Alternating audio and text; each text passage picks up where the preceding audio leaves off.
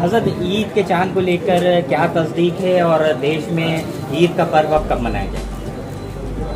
मैं मैं मरकज़ी चाँद कमेटी फ्रेंकी महल लखनऊ की जानब से ऐलान कर रहा हूँ कि आज उनतीस रमज़ान मुबारक मुताबिक यकम मई 2022 को लखनऊ या मुल्क के किसी भी हिस्से से चाँद नज़र आने की तस्दीक नहीं हुई है।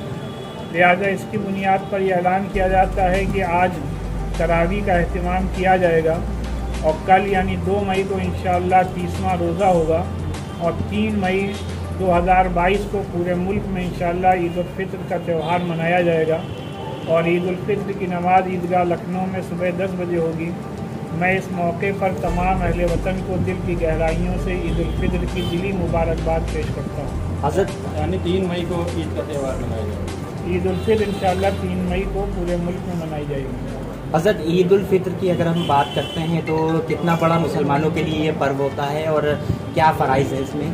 ये मज़हब इस्लाम में इस्लामी शरीयत में ईद फितर मज़हब इस्लाम में ईद फितर मजहबी तौर पर सबसे बड़ी खुशी का दिन होता है।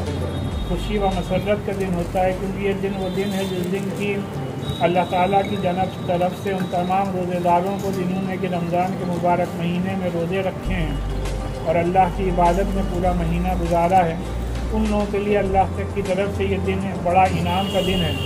लिहाजा हर मुसलमान की ये कोशिश होती है कि सुबह सवेरे जिस तरीके से नबी पाक सल्लल्लाहु अलैहि वसल्लम का जो तरीक़ा था कि सुबह खुद फरमाते, अच्छे से अच्छे कपड़े पहनते, सर में तेल कपड़ों पे खुशबू और आँखों में सुरमा लगाते और ईदगाह पहुँच करके नमाज़ नमाज़ ईद अदा फरमाते और अल्लाह की बारगाह में दुआ करते।